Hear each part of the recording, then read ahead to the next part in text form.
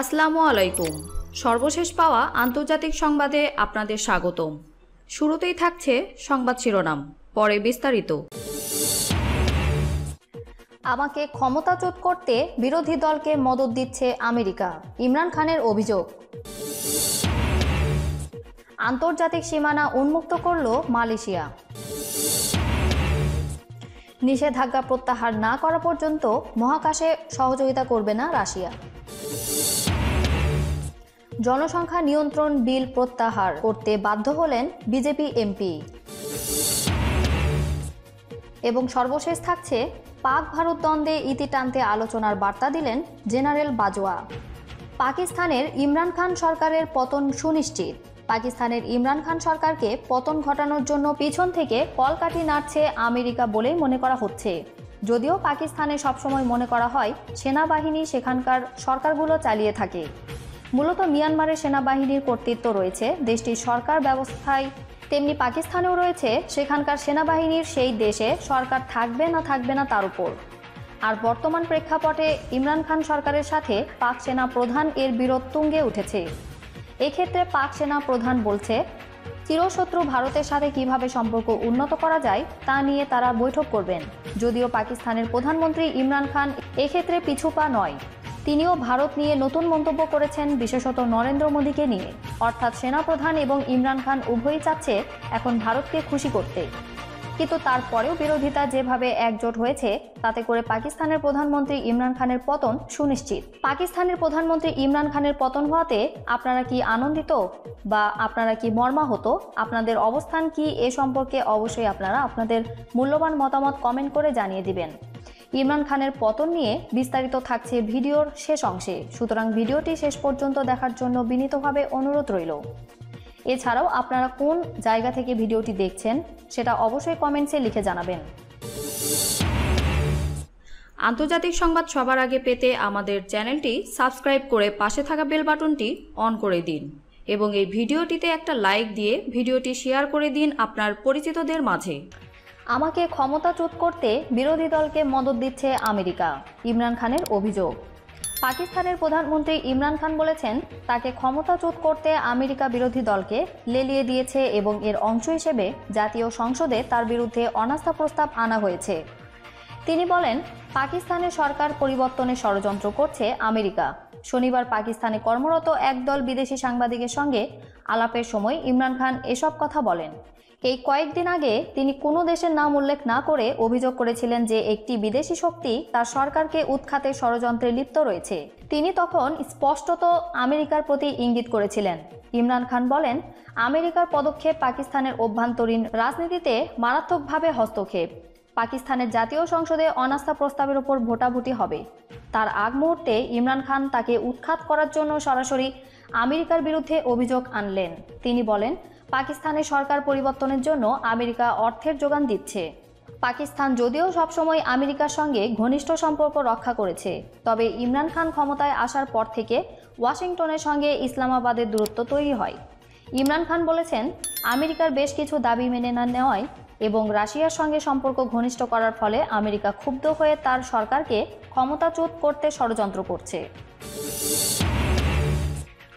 আন্তর্জাতিক সীমানা উন্মুক্ত করল মালয়েশিয়া। বিদেশি পর্যটকদের জন্য নিজেদের আন্তর্জাতিক সীমানা উন্মুক্ত করল মালয়েশিয়া। শুক্রবার এক এপ্রিল দেশটির আন্তর্জাতিক বিমানবন্দরে কে এল আই এ দুইশো বিশ জন পর্যটকদের স্বাগত জানানোর মধ্যে দিয়ে আয়োজনটির উদ্ভাবন করেন দেশটির পর্যটন, শিল্প ও সংস্কৃতি মন্ত্রী দাতুক সেরি ন্যান্সি শুক্রি।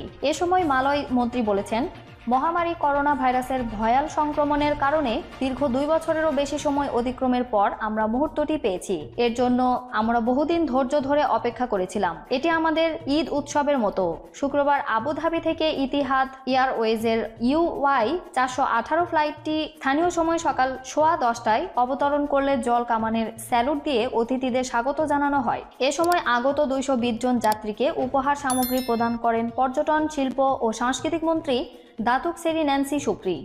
এ সময় সাংবাদিকদের ন্যান্সি বলেন, মালয়েশিয়ার সংস্কৃতি ও রীতিনীতি, পর্যটন পণ্য যেমন বিনোদন ও কেনাকাটার স্থানের পাশাপাশি দ্বীপের ছুটির দিনগুলোকে তুলে ধরতে ইফতার রোজা বিরতি অনুষ্ঠানের মতো এ বছর বিভিন্ন কর্মসূচির পরিকল্পনা করা হয়েছে। দেশটির সীমানা পুনরায় খোলার পর আট দশমিক ছয় বিলিয়ন রিঙ্গিত পর্যটন প্রাপ্তির সঙ্গে এবছর দুই মিলিয়ন আন্তর্জাতিক পর্যটন আগমনের আশা করছে সংশ্লিষ্টরা। গত দুই বছর ধরে পর্যটন কার্যক্রম শান্ত থাকার পরে শিল্পটি আবার দর্শকদের স্বাগত জানাতে প্রস্তুত দাবি করেছেন ন্যান্সি। তিনি বলেন, যে শিল্পের মালিকরা বিশেষ করে গ্রামীণ এলাকায় হোমস্টে এবং ইকো ট্যুরিজম কার্যক্রমের অপারেটররা ভালোভাবে প্রস্তুত রয়েছে। এদিকে ইমিগ্রেশন বিভাগের উপমহাপরিচালক ব্যবস্থাপনা দাতুক জাকারিয়া সাবান বলেছেন, দেশের একশো তিরাশিটি গেটওয়ের সুবিধাগুলো, অটো গেট এবং ম্যানুয়াল কাউন্টারগুলো সক্রিয় করার সঙ্গে ভ্রমণকারীদের আগমনের জন্য প্রস্তুত ছিল। ইমিগ্রেশন প্রয়োজন অনুযায়ী আরও ম্যানুয়াল কাউন্টার খোলার জন্য প্রস্তুত। এখনও অবধি বিদ্যমান কাউন্টারগুলো ভিড় ছাড়াই ভ্রমণকারীদের যাবতীয় কাজ করতে পারে। Malaysia airport holdings BHD M B মহাব্যবস্থাপক Datuk Iskandar Mizal Mahmud জানান, তারা ভ্রমণকারীদের আগমন প্রক্রিয়া এবং অপেক্ষার সময় সুবিধার্থে পরিবহন ও স্বাস্থ্য মন্ত্রণালয় সহযোগিতায় গত মাস থেকে প্রস্তুতি গ্রহণ করেছেন। তিনি বলেছেন, এম এ এইচ বির স্বেচ্ছাসেবক এবং টাস্ক ফোর্স যাত্রীদের সহায়তার জন্য বিমানবন্দরে একত্রিত করা হয়েছে। বিশেষ করে দুই সপ্তাহের জন্য মাই সেজা হোতেরা অ্যাপ্লিকেশন ব্যবহারে সহায়তা করার জন্য তাদের কার্যক্রম। নিষেধাজ্ঞা প্রত্যাহার না করা পর্যন্ত মহাকাশে সহযোগিতা করবে না রাশিয়া। রাশিয়ার মহাকাশ গবেষণা সংস্থার প্রধান দিমিত্রি রোগোজিন বলেছেন, তার দেশের ওপর থেকে পশ্চিমা নিষেধাজ্ঞা তুলে না নেওয়া পর্যন্ত আন্তর্জাতিক মহাকাশ স্টেশনে সমন্বয় ও সহযোগিতা করা মস্কোর পক্ষে সম্ভব হবে না। তিনি সুস্পষ্ট করে বলেন, শুধুমাত্র নিষেধাজ্ঞা প্রত্যাহার করার পরেই রাশিয়া স্বাভাবিক সম্পর্ক পূর্ণ প্রতিষ্ঠা করবে।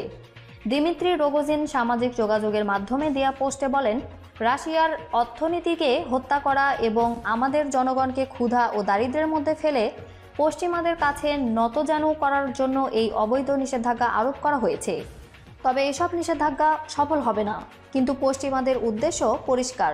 এজন্য আমি বিশ্বাস করি আন্তর্জাতিক মহাকাশ গবেষণা কেন্দ্র এবং অন্যান্য প্রকল্পে তখনই সহযোগিতা ও সমন্বয় করা সম্ভব যখন মস্কোর উপর থেকে অবৈধ এসব নিষেধাজ্ঞা নিঃশর্তভাবে প্রত্যাহার করা হবে।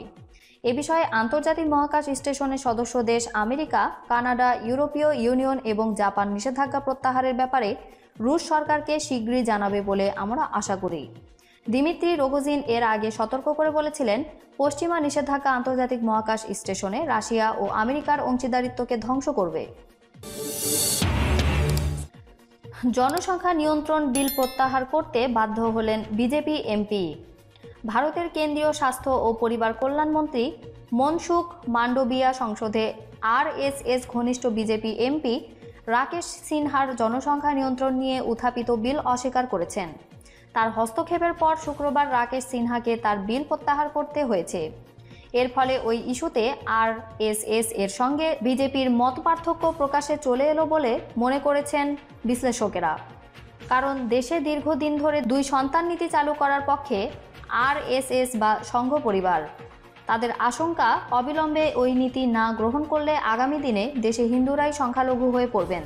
আর এস এর নেতারা মনে করেন, জনসংখ্যার বিস্ফোরণের মাধ্যমে আগামী দিনে এদেশে সংখ্যাগুরু হয়ে দাঁড়াবে মুসলিম সমাজ। সেজন্য একমাত্র আইন করেই মুসলিম সমাজের জনসংখ্যা বৃদ্ধির হার কমানো সম্ভব। শনিবার হিন্দি গণমাধ্যম জনসত্তায় প্রকাশ, বিজেপি, এমপি রাকেশ সিনহা দু হাজার উনিশ সালের জুলাই মাসে বেসরকারি সদস্য বিল উত্থাপন করেছিলেন। বিলে দুই সন্তানের নিয়ম চালু করার কথা বলা হয়েছিল। এর পাশাপাশি এটি লঙ্ঘনের জন্য শাস্তিমূলক বিধানেরও কথা বলা হয়েছিল। প্রাইভেট বিলের আলোচনায় হস্তক্ষেপ করে স্বাস্থ্য ও পরিবার কল্যাণমন্ত্রী মনসুখ মান্ডবিয়া বলেন, দেশে আজ উন্নত চিকিৎসা পরিষেবা দেওয়া হচ্ছে। দেশ পরিবর্তন হচ্ছে। প্রধানমন্ত্রী নরেন্দ্র মোদীর নেতৃত্বে একটি নতুন ভারত গঠিত হচ্ছে।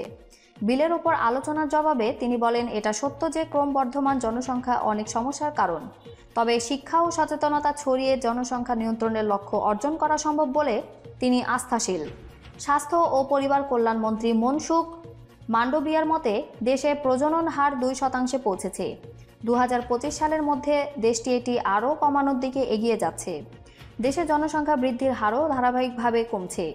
উনিশশো একাত্তর সালে জনসংখ্যা বৃদ্ধির হার ছিল দুই দশমিক বিশ শতাংশ, যা দু হাজার এগারো সালে এক দশমিক চৌষট্টি শতাংশে নেমে এসেছে। তিনি বলেন, এটি একটি দুর্দান্ত সাফল্য। যে গতিতে জনসংখ্যা বাড়ছে, তাতে স্পষ্ট যে তা যথেষ্ট কমেছে। স্বাস্থ্যমন্ত্রী বলেন, দেশে উনিশশো সাল থেকে জনসংখ্যা নীতি চালু রয়েছে এবং এ পর্যন্ত জনসংখ্যা নিয়ন্ত্রণে যে প্রচেষ্টা চালানো হয়েছে, তাতে ইতিবাচক ফল এসেছে। উন্নত জীবনযাত্রার জন্য জনসংখ্যা নিয়ন্ত্রণ অপরিহার্য। মন্ত্রী বলেন, জনগণ যাতে নিজেরাই পরিবার পরিকল্পনা গ্রহণ করে, সেজন্য এমন উদ্যোগ নেওয়া উচিত। এজন্য আইনের প্রয়োজন নেই। তিনি বলেন, আগে যখন বেশি শিশু ছিল, তখন শিশু মৃত্যুর হারও বেশি ছিল, কিন্তু সময়ের সাথে সাথে তা পাল্টে গেছে। এজন্য জনগণের উন্নত স্বাস্থ্য সুবিধা পর্যন্ত পৌঁছানোর প্রয়োজন ছিল এবং তা করা হয়েছে। মন্ত্রী বলেন, দেশের উন্নতির জন্য পরিবারকে ছোট হতে হবে। জনসংখ্যা স্থিতিশীল হতে হবে। পাশাপাশি জনসচেতনতা ছড়িয়ে জনসংখ্যা নিয়ন্ত্রণের লক্ষ্য অর্জিত হবে বলেও আস্থা প্রকাশ করেন তিনি। সরকার জোর করার পরিবর্তে জনসংখ্যা নিয়ন্ত্রণের জন্য সচেতনতা এবং স্বাস্থ্য অভিযানগুলো সফলভাবে ব্যবহার করছে বলেও মন্তব্য করেন স্বাস্থ্য ও পরিবার কল্যাণমন্ত্রী মনসুখ মান্ডবিয়া পাক ভারত দ্বন্দ্বে ইতি টানতে আলোচনার বার্তা দিলেন জেনারেল বাজওয়া। পাক ভারত দ্বন্দ্বে ইতি টানতে ফের একবার আলোচনার বার্তা। এবার আলোচনার বার্তা দিলেন পাকিস্তানের সেনাপ্রধান জেনারেল কামার জাভেদ বাজওয়া। ভারতের সঙ্গে সব বিরোধ আলোচনার মাধ্যমেই মিটিয়ে নেওয়া সম্ভব বলে দাবি করেছেন পাক সেনাপ্রধান। তিনি বলেন, পাকিস্তান কাশ্মীর সমস্যা সমাধানের জন্য আলোচনা এবং কূটনৈতিক পথে এগোতেই বিশ্বাসী। ভারত রাজি হলে পাকিস্তান সেই লক্ষ্যে এগিয়ে যেতে তৈরি রয়েছে। কূটনৈতিক মহল অবশ্য পাক সেনাপ্রধানের আলোচনার বার্তার পেছনে অন্য কারণও দেখছে।